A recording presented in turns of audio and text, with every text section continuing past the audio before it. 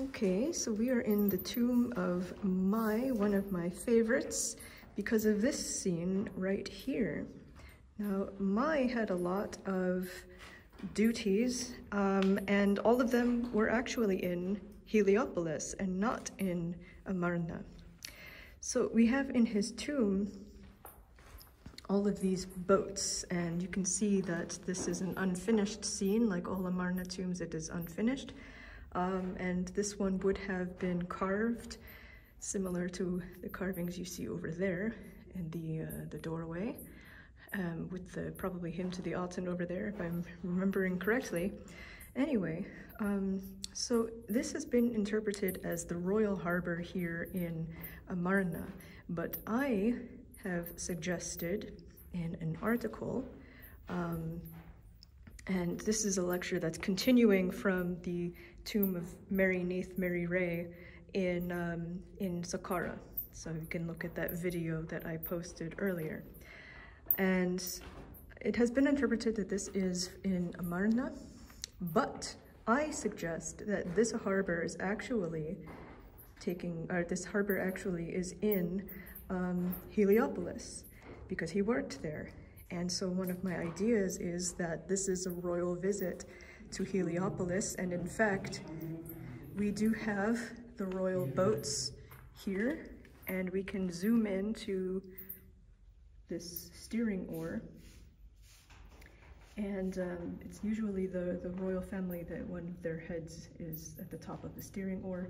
And you can also see here, let me zoom in even further, the so-called smiting kiosk, which is at the usually fore and aft of the ship.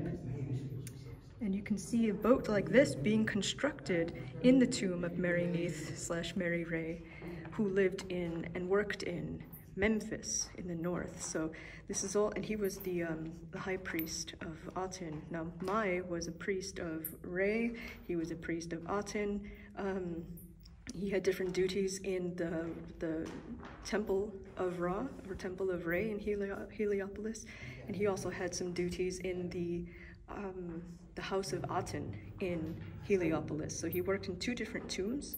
Here is another, here's the opposite smiting kiosk on the other side of the boat. So this would be the fore of the boat, this would be the aft of the boat because the steering oar is in the back. Um, and then we have another royal boat here this is another royal barge.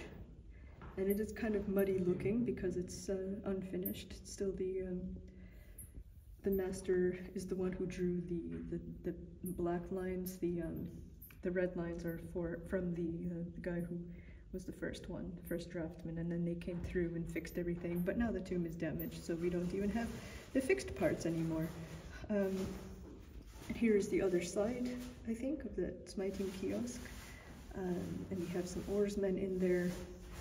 But yes, I think that this is a royal visit to the Aten temples, possibly the Aten and Ra temples in Heliopolis, just like we have um, an Aten temple in Memphis, where Meryre, Mary Neith, is um, building the what I think is a ceremonial boat. So this is the tomb of Mai.